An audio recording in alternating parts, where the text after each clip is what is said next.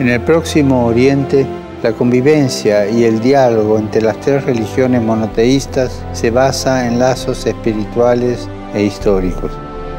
De estas tierras nos llegó la buena noticia de Jesús resucitado por amor.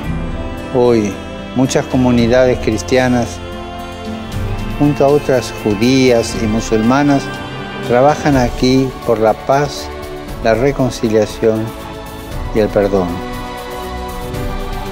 Recemos para que en Oriente Próximo nazca un espíritu de diálogo, un espíritu de encuentro y de reconciliación.